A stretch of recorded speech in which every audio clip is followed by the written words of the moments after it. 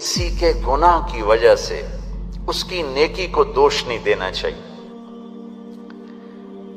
पता नहीं उसकी नेकी अल्लाह ताला कबूल फरमा के उसका गुनाह माफ़ कर ले, या किसी वक्त तौबा करे उसका गुनाह माफ़ हो जाए और वो जन्नत में चले जाए। मैं पकड़ा जाऊँ, मैं तू ठेकेदार था, औरों की बुराइयाँ पकड़ने का।